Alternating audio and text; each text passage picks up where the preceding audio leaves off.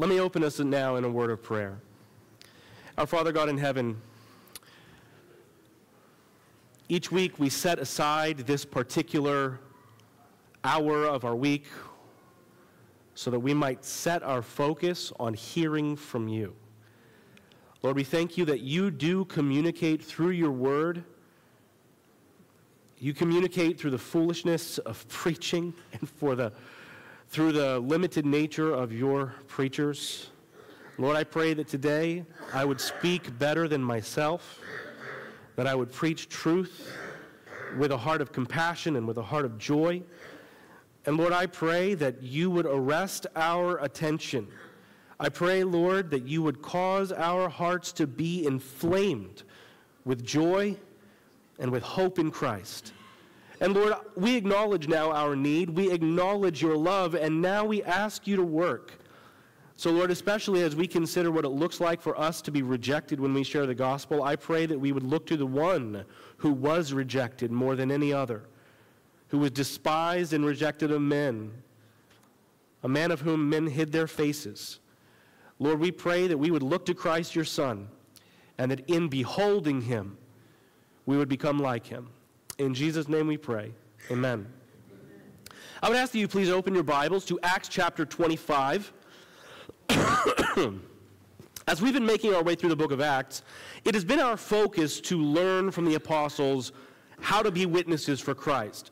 We've learned how to be sent and how to go and how to evangelize. We've learned how to share your testimony and how to defend the faith.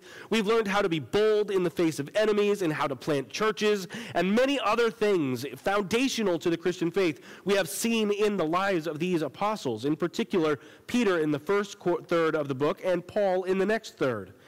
Well, the last third of the book shifts gears starting in chapter 21 and we move into Paul's extended period of incarceration. Even though Paul's normal pattern of missionary work and evangelism has now stopped, we're still watching God work through him and proclaim the gospel to those that wrongly imprisoned him. In particular, last week we saw three incorrect responses to the gospel that were on display in the life of Governor Felix. We saw information, information only Christians. They, they know the information, but they don't really love or trust God. We saw procrastination. He was initially fearful of what he had been told about the coming judgment, yet he did not respond in faith. And finally, pretension. They pretended to be close, pretended to be near, just for the sake of personal gain. Those are all incorrect responses to the gospel. Well, this week we are going to see three more incorrect responses to the gospel on display, and we're going to see them in the Sanhedrin, in Festus, and in Agrippa. Now, just like last week, because this passage is very lengthy, we are going to walk through it slowly, and I'm going to provide running commentary. Now, before we dive in, let's first get our bearings by seeing where things ended up last week. If you have your Bible open to Acts chapter 25, do me a favor and just scroll your finger up an inch into the final verse of verse uh, chapter 24, and there you are going to hear this in verse 27. Luke writes, When two years had elapsed, Felix was succeeded by Porcius Festus. And desiring to do the Jews a favor, Felix left Paul in prison.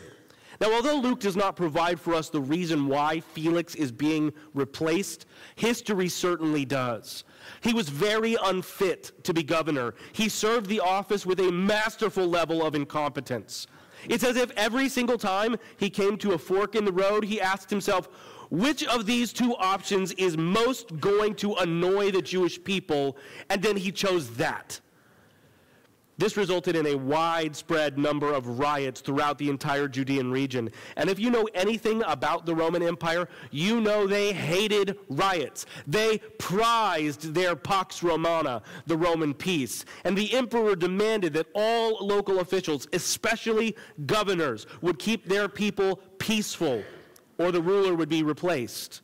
Even though Felix was given his position because he was a friend of the governor, he had done immense damage, and he was replaced by somebody that was far more gracious and politically savvy, namely Festus. Now, we don't know a lot about Festus from the history books, except that he was often compared favorably to other Roman rulers. The, the Jewish people seem to recognize he's actually a pretty good politician. And we don't know a lot else about him, except for the fact that we know his parents didn't like him. How do we know that? Because they named him Festus. That's how we know that. Uh, if you're visiting with us and your name is Festus, I'm sorry. I'm sorry your parents didn't love you. Uh, but, but deep down, I know you agree with me. This is a terrible name. Happy, happy Mother's Day. Festus might have had a, ha- a, name that sounded like a swollen, pus filled wound, but as you're going to see through his actions, he's actually a pretty skilled politician. Look at how he handles the Paul dilemma here in Acts chapter 25, starting at verse 1. It says, Now, three days after Festus had arrived in the province, he went up to Jerusalem from Caesarea. And the chief priests and the principal men of the Jews laid out their case against Paul, and they urged him, asking as a favor against Paul that he summon him to Jerusalem, because they were planning an ambush to kill him on the way. Festus replied that Paul was being kept at Caesarea, and that he himself intended to go there shortly. So, said he, let the men of authority among you go down with me, and if there is anything wrong about the man, let them bring charges against him. Now, this is a really brilliant move on the part of Festus. You see, the Sanhedrin had become accustomed to pushing Felix around. They knew that if they if they wanted to, they could force his hand because if they began riots, it was going to ruin his job. So they knew that they could manipulate Felix into doing most of what they wanted. The reason that Paul was still languishing in prison is that they were, he was afraid of what the Jews would do if he was to release Paul. And the entire time that he was forced to be in prison, uh, Felix was continuing on in a process of mildly appeasing the Jews. Now, after Felix was forced to resign, it makes clear at the end of chapter 24, he left Paul there in prison because he was trying to do these same people that want Paul dead some kind of a favor. Now, Festus, the new governor, he has the opportunity to come in and be the exact same way and do the exact same things. He could have easily sought to curry favor with the Sanhedrin and these religious elites just by acquiescing to their request for this political prisoner. All he had to do is say, Yeah, you know, I don't know anything about him, you can have him. And it would have made them much more happy with him. But notice that Festus doesn't refuse their request, he simply does what is right. He simply makes it clear if this trial is going to take place, it's going to happen under my watchful eye and in accordance with Roman law. None of your shenanigans. So Felix invites the Sanhedrin to join him at Caesarea where Paul is being held. Now, before moving ahead, I want to say that I see the providence of God clearly on display here. God's providence is always working. It is always weaving together the threads of every act of creation to carry out his will. But there are some occasions when you can see what God is doing much more clearly than others. If Felix had remained in power, Paul would have remained in prison. The longer that man ruled, the longer Paul would be in chains. But the Lord allowed Paul to be there for two years. Then, when God determined it was time for Paul to move, God moved Felix. And then God uses that to move Paul.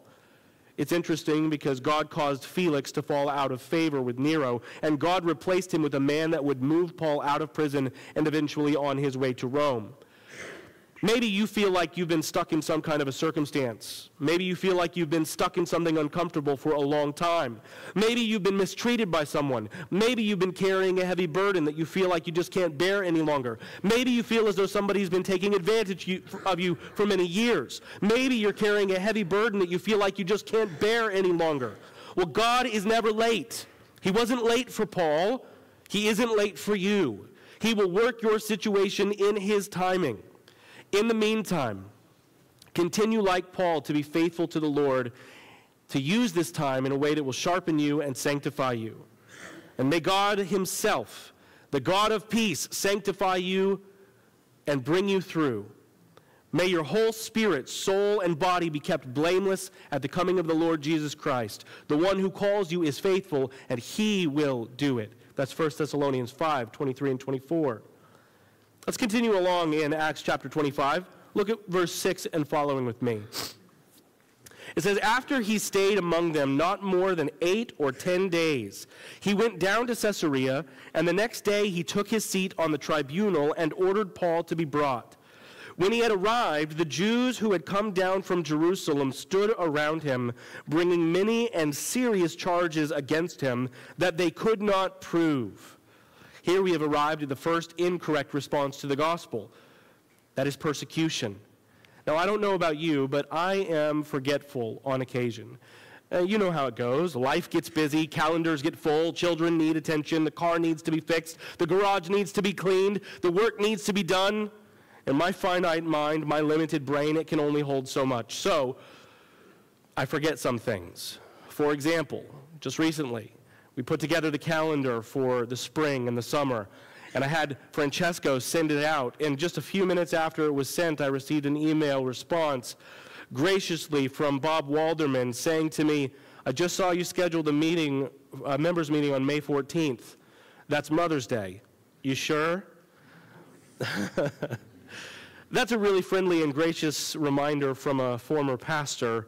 It's a way to point out a foundational rule of pastoral ministry and that is that you do not schedule a business meeting on Mother's Day. but I forgot that it was Mother's Day. Even though it shows up on the calendar the same weekend every year, I totally forgot that it even existed because people are forgetful. I am forgetful. Most of us will forget things. And if you look at this text, you should find it interesting that after two years of Paul languishing away in Felix's prison, the fiery hatred of the Sanhedrin has not cooled off even slightly. Festus is just days into his job, and they have already devised a scheme to manipulate Paul into a dangerous position so that Sanhedrin can assassinate him.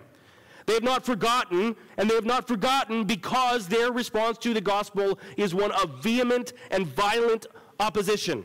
Just like Paul had done 25 years earlier, they are now breathing out murderous threats. They were on a rampage against the gospel. they would not stop until, thank you, they would not stop until they saw the shimmering blood of Paul staining the ground. Verse 7 tells us that they made many and serious accusations against, against Paul, accusations that nobody could prove. Why don't we know what those accusations, or we don't know what those accusations might have been? All we do know is that they were not true.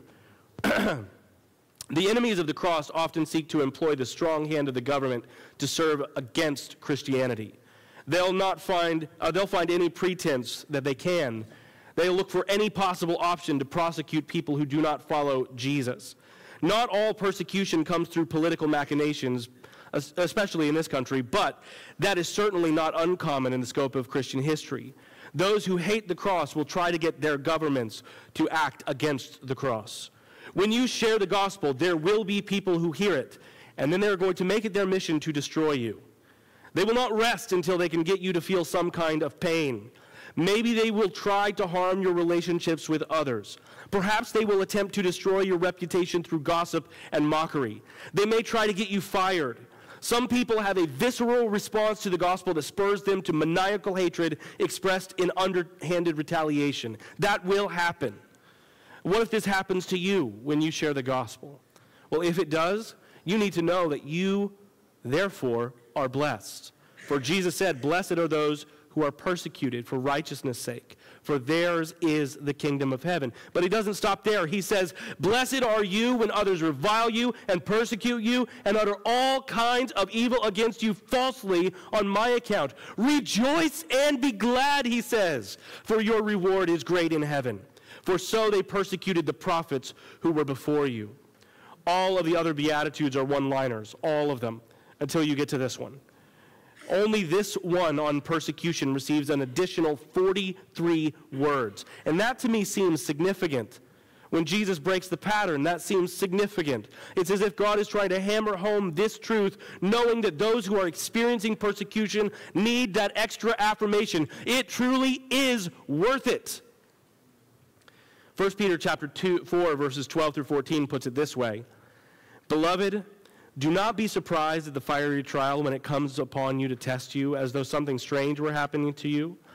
but rejoice insofar as you share Christ's sufferings, that you may also rejoice and be glad when his glory is revealed.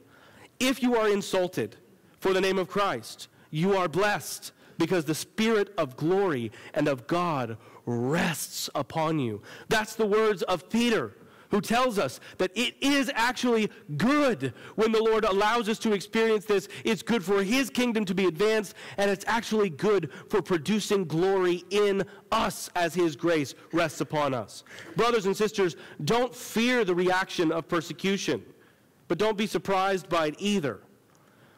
Be faithful and proclaim the gospel, and the Lord's going to guide your steps. When Jesus was preparing his disciples for the inevitable future of persecution that they would face, he promised them in Matthew 10 16 through 18 Behold, I am sending you out like sheep among wolves. So be wise as serpents and innocent as doves. Beware of men, for they will deliver you over to courts. They will flog you in their synagogues, and you will be dragged before governors and kings for my sake to bear witness before them and the Gentiles.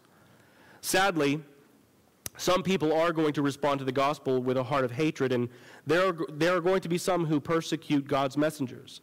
But even in the face of those trials, God will help you, and God will give you direction, and God will hold you by his mighty right hand, and even give you, as it says here, the right words to speak.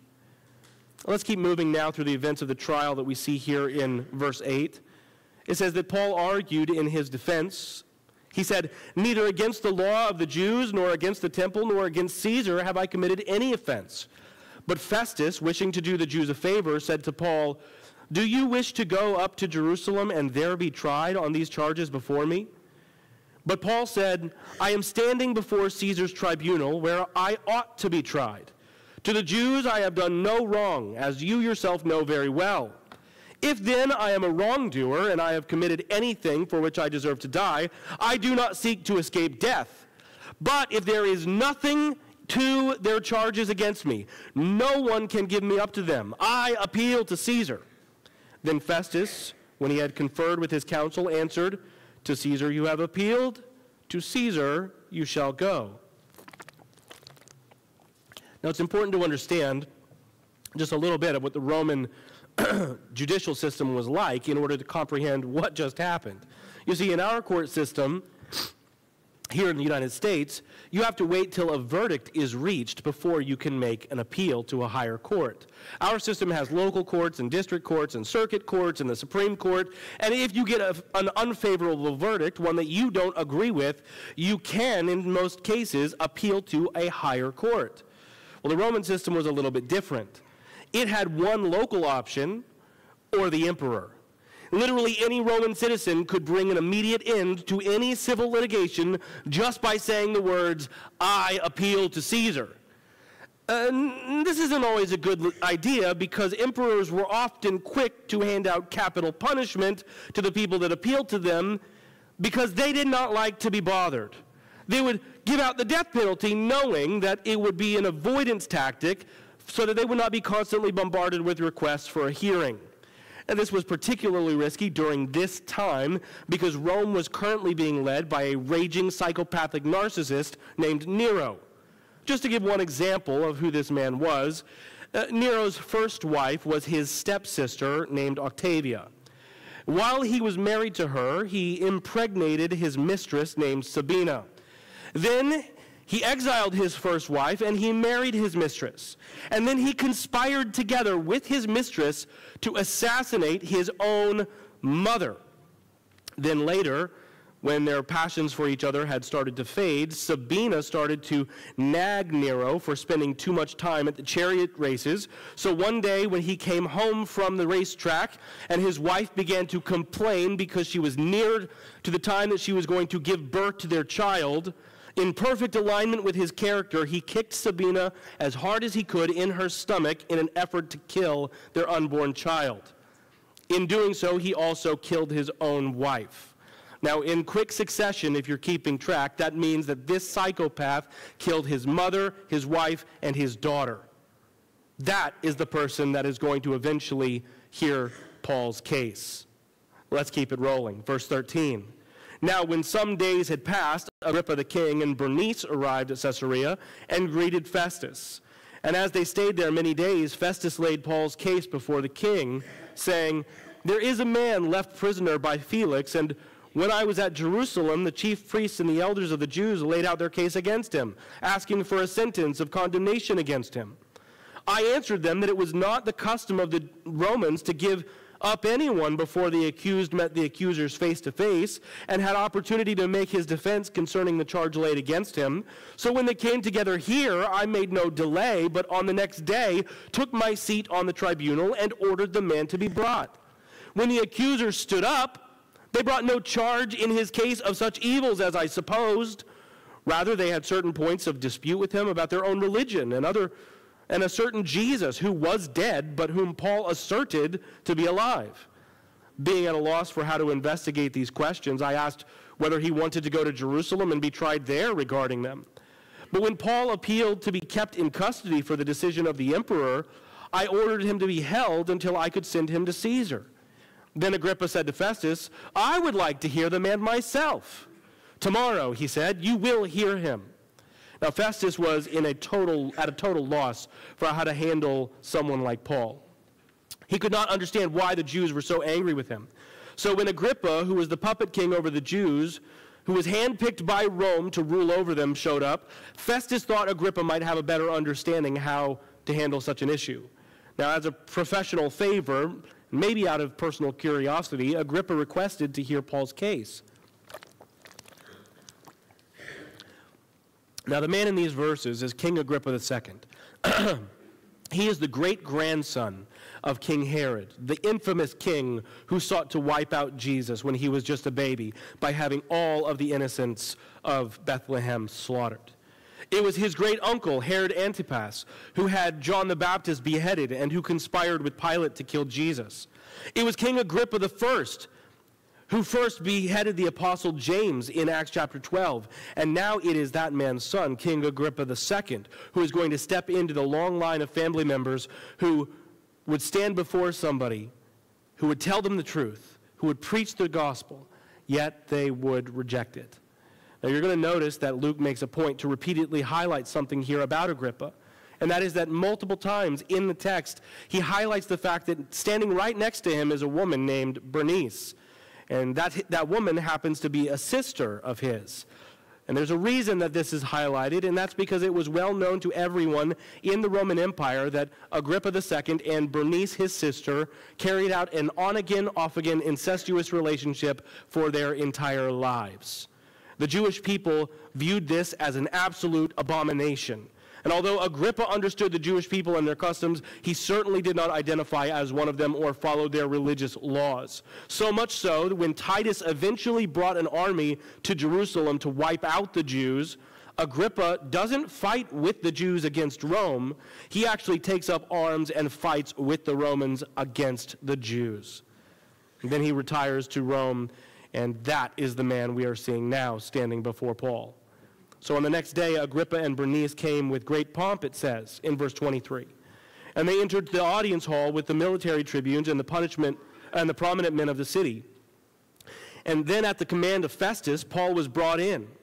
And Festus said, King Agrippa, and all who are present with you, you see this man about whom the whole Jewish people petitioned me, both in Jerusalem and here, shouting that he ought not to live any longer.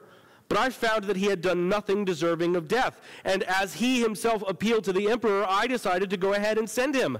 But I have nothing definite to write to my lord about him. Therefore, I him before you all, and especially before you, King Agrippa, so that after we have examined him, I may have something to write. For it seems to me unreasonable in sending a prisoner not to indicate the charges against him.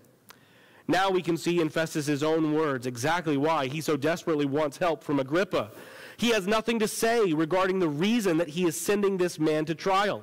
He knows that Paul has been falsely accused, and he knows that he's been illegally detained for two years, and he knows that there are no legitimate claims that would hold up or even uh, be heard under scrutiny in Rome. So here's the problem. If he sends Paul to Rome without any accusations, it is going to be clear that Festus is either incompetent or that he is unjust. Neither would bode well for his political aspirations, so he is looking for anything that he can pin on Paul's chest to say, This is the reason the man is on trial before you. And Nero was just as quick to go after Roman officials as he was his own family members, so Festus is walking on eggshells, tiptoeing around, trying to avoid the wrath of the emperor. Jump now down with me to chapter 26, and let's see how this plays out. It says, starting in verse 1 So Agrippa said to Paul, You have permission to speak for yourself. Then Paul stretched out his hand and made his defense. He said, I consider myself fortunate that it is before you, King Agrippa, I am going to make my defense today against all the accusations of the Jews, especially because you are familiar with all the customs and controversies of the Jews. Therefore, I beg you to listen to me patiently. Paul highlights the fact that Agrippa is fully capable of recognizing his innocence. He can't stand behind the excuse of ignorance and Jewish customs like Festus is doing. So Paul immediately flows into an extended defense. That is to say, Paul is going to take this opportunity to preach the gospel and to share his own testimony. Now, we're not going to cover all of what Paul has to say here today. In fact, we're going to skip his testimony entirely and focus on that next week. Uh, but what we do want to see is how it was received. Jump down to verse 24. it says, And as he was saying these things in his defense, Festus said with a loud voice, Paul, you are out of your mind. Your great learning is driving you out of your mind. Now, we have now arrived at the second incorrect response to the gospel that we'll find today, and that is accusation. When you share the gospel with some, some, someone, sometimes their response is going to be to respond with accusations. Usually, they will respond by calling you either ignorant or insane. Sometimes it's subtle, like eye rolls or mocking sighs. Sometimes it's abrasive and aggressive, sometimes involving name calling or references about the modest capacity of your brain cells. In my personal experience in this world, and in particular our community, uh, it's interesting how this always seems to pop up. It usually comes from those that feel like Christianity is the opposite of what Festus said today. He claimed that Paul had lost his mind because he studied too much. Most of the time in our culture, those who have been indoctrinated by their education are the quickest ones to fling around accusations of ignorance or even stupidity. Ironically, people who believe that their existence is owed completely to an accidental explosion of superheated space goop that eventually cooled off and accidentally became a planet that was perfectly capable of hosting life, who also believe that even though nothing had ever been alive before, that general spark of life spawned itself into existence, also accidentally. And some of these people even believed that on, that happened on this planet. Others believe it happened elsewhere to highly advanced beings, and then they seeded life onto our planet as aliens. Now, yes, people like Stephen Hawking, very powerful atheists in academia today, the majority of those who are running the institutions actually believe it's more likely that there were aliens that existed that put seeds of life on our planet than any other answer to how we got here. And they believe that through an impossibly perfect process of accidental progress, the, the genes of those single cell organ- organisms hit the cellular lottery, lottery billions and billions and billions of times in a row in order to transform into more advanced creatures and instead of following the rules of entropy that everything moves towards disorder. They believe that even though no creature ever knew what sight or vision was, they mystically or magically knew that it would make them more powerful creatures if they would develop eyes. So they went through a period of billions or at least tens of millions of generations where they would move in the direction of having eye sockets, a soft, empty space on their face. And then over the generations, millions of them, that empty space that would make them better targets for those that are seeking to eat them would then magically have a line grow from their brain to the eye sockets. And the next generation, 10 million generations later, would grow a round ball that would be like a marble. And then 10 million generations later, that marble would turn into a visual eye. And then eventually they would be able to see. And they believe that all of these things happened by pure coincidence and pure accident, even though it goes completely against the entire doctrine of the, at the core of their religion, which is the survival of the fittest. That would make it impossible. And those vulnerable millions of tens of uh, millions of generations of sightless creatures would eventually grow sight, and then through random chance, they would eventually spark reason and imagination and language and art, and accidentally, of course. And these same people will acknowledge that it is only consistent to say that there is no intrinsic value in a person any more than there is in a garden snake or in a glowworm, because we are all part of the same process of evolution. And they believe, therefore, that there is no genuine purpose to life at all, and it's just all an accident. These people will hear you say you believe in God, and they will immediately say, You are insane. They call you ignorant. They hear that you believe Jesus was raised from the dead, and their sides slip, split from overzealous laughter. So, how do we respond to accusations like this? How do we seriously take somebody like this man who looks at Paul and mocks him and says, You're just crazy? Well, how do you respond when you share the gospel with someone and say, Jesus forgave my sins, and they say to you, You're just crazy, or you're just ignorant, you're just following the pattern of these, these people that are archaic and who are all dead? How do we respond? Well, notice the way that people often respond is to say something like, Well, God said it, I believe it, that settles it. Well, on the one hand, amen. I love that answer. Yes, we should stand firm on our faith. We should know, yes, God said it, so I do believe it, and I'm unshakable. I'm steadfast, unmovable. I know that God's word is true, therefore I can trust it. However, what people are often doing when they respond to others this way is that they're, they're basically refusing to refute the actual claims that their accusers are making. Notice how Paul responds. It says, But Paul said, verse 25, I am not out of my mind, most excellent Festus. I am speaking true and rational words. For the king knows about all of these things, and to him I speak boldly. For I am persuaded that none of these things has escaped his notice, for this has not been done in a corner. Paul does not accept the accusation that he is crazy, and we should not either. We should respond exactly as he did by standing firm on facts and truth. Listen, science, history, archaeology, geology, they are all friends of the Christian. They all point to the Creator. They all point to reality. They all point to exactly what we are saying. The claims that I was just listing above, those absurd things that those who have been indoctrinated by our system of this world have believed, those are not scientific claims. You cannot perform the scientific method on the claim that aliens seeded life to this planet or the claim that we evolved from single cell organisms. There is no way to test that.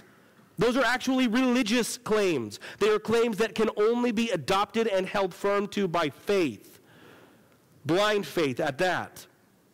Brothers and sisters, avoid willful ignorance. Show yourself a worker approved. Be ready to give an answer in season and out of season. When people respond to you with mockery, you don't always have to immediately provide all of the information that you know. You don't want to defend yourself.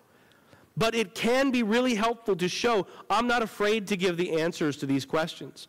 I'm not afraid to be uh, put before your so called intelligentsia. I would be willing to speak to you about these things. And if I don't know the answer, I'll study it and we'll discuss it, and I'm confident that I'm right. When Festus began mocking Paul or acting like his claims of the resurrection and the appearance of Jesus were absurd, Paul grounded the conversation by stating in clear claims Look, what I'm saying is reasonable. Faith is not the same as reason, but faith in Christ is reasonable. When people respond to the gospel with accusations of insanity or ignorance, be prepared to stand on reasonable truth of the gospel. Now let's shift forward and see how Agrippa responds. Did you notice what Paul said a moment ago? He said, For I am persuaded that none of these things has escaped Agrippa's notice, for this has not been done in a corner. In particular, Agrippa's family members had been involved with the death of Christ. Surely Agrippa knew the claims that Jesus was alive. Paul pushes even further and appealed to the Jewish traditions that would have pervaded Agrippa's education. And he said, King Agrippa, do you believe the prophets? I know that you believe. Now, here he's not saying, I know you believe in Jesus Christ the Messiah. What he's saying is, I know you expect there to be a Messiah.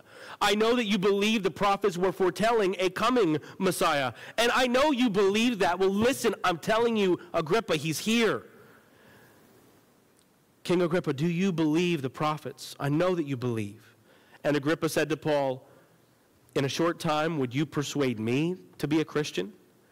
And Paul said, Whether short or long, I would to God that not only you, but also all who hear me this day might become as I am, except without these chains.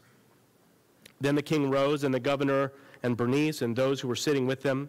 And when they had withdrawn, they said to one another, This man is doing nothing to deserve death or imprisonment. And Agrippa said to Festus, This man could have been set free if he had not appealed to Caesar. Here we come to our final response to the gospel. It is the most dangerous and incredibly dangerous response to the gospel. The response is that of superiority. Consider the physical state of the people in the room. Back in chapter 25, verse 23, here's how it described Agrippa and Bernice. It said, So on the next day, Agrippa and Bernice came with great pomp and entered the audience hall with the military tri- tribunes and the prominent men of the city. That word pomp is interesting. It's the word fantasia. Disney made that one popular for most of us. It means that they were putting on a great show. It means that they were dressed to the nines. It means that they probably had a small army of servants around them, waiting on them hand and foot. They had powerful officials following the, them around like lapdogs. And at the tribunal, Agrippa would have been seated in a place of prominence, surrounded by people who were fanning him with palms or giving him water or food at the slightest look of his eye. Standing in front of him was a man in chains, a man who was alone, a man in the middle of the room, a man wearing probably relatively worn out clothes. There stood Paul. There was nothing attractive about his position. There was nothing attractive about him as an individual. He was in a position that was quite opposite of pomp, the opposite of fantasia, the opposite of putting on a show. Next week, we're going to see the testimony of Paul, but you should know that if you read it out loud, his entire testimony takes about 3 minutes and 40 seconds. And that's for a normal paced reader, not one that reads super fast like myself. When I read, I know sometimes my sermons I speak fast. King Agrippa heard. He listened to Paul he was stunned that Paul was not trying to defend himself at all. Instead, he was trying to recruit Agrippa. Now, the tone is a little hard to see here in the English translation, but there, this is how it should sound. This is how the, the oomph of the text comes through. Here's how he would have said it In a short time, would you, or maybe you could add the words, would somebody like you persuade me someone like me to be a Christian? This was a total dismissal of Paul. Agrippa didn't accept the message of freedom because he thought he was already free. He didn't accept the message of Christ the Messiah because he thought he was already the king of his own life. He didn't accept the message of repentance because he wanted to continue on in his sin. That is made very clear when it says in verse 30 that when he got up to leave, he takes Bernice with him. The reason that this heart of superiority is such a horrible response to the gospel is that it is at the root of all rejection of the gospel. Information, procrastination, pretension, persecution, accusation, all of these spring out of the same heart of self superiority and pride. It's a heart of self worship. It's a self love and a love of sin that repels the message of dying to self and coming to the cross. Did you notice how Paul replied to Agrippa and everyone else in that room? He does so with genuine, heartfelt compassion. He says, whether short or long, I would to God that not only you, but also all who are hearing me this day might become such as I am. Born again, bought by Christ, living for Jesus, doing whatever it takes to honor him. Except, I wouldn't wish these chains upon anyone. That is the heart that we should have for the lost. As the old saying goes, we're just beggars helping other beggars how to find bread. Next week, we're going to backtrack and see the right response to the gospel in Paul's testimony. But to close today, I simply want to preview it by reminding you that this passage is actually not about Paul. It's not about Felix. It's not about Festus. It's not about Agrippa. It's not about the Sanhedrin. It's not about Bernice. This is all about the supremacy of Jesus Christ. It's all about his worthiness. It's all about the fact that he truly is the Lord of all. He is the treasure of the universe. He is the one that is worth losing everything for. And he is the one who came to save sinners. The treasure came hunting for us. And we can be reconciled to him because he was raised for our justification. We can have Jesus as our friend because our God gave us Christ. He forgave us. He purchased us. Even when we were dead in our trespasses and sins, He made us alive. By grace, you have been saved. Brothers and sisters, we have good reason to rejoice today. Let's pray. Father God, we thank you for this good news. We thank you for so many in this room who have received it and believed it and are living it out. We thank you, Lord, that even when we share the gospel with those that don't know you, when people respond to it with these various forms of rejection that we've looked at for the last two weeks, we pray, Lord, that it would not in any way temper our zeal but that we would be constant and vigilant in our efforts to tell everyone, inform everyone about your Son. And Lord, I pray that our efforts of casting out the seed of the gospel, that in doing so it would find good soil, and that you would bring the increase, and that you would bring a harvest. We pray, Lord, that there would be many brought into your fold, perhaps, Lord, even today. We ask, Lord, that you would give us the opportunity to watch your hand at work bringing forth new creations, even in our midst. Father God, I pray for anyone in this room who is visiting with us today or who has been sitting in these seats for many years but has not yet bowed the knee to Jesus. Lord, I pray that today would be the day that you open their eyes and give them life. In Jesus' name we pray these things. Amen.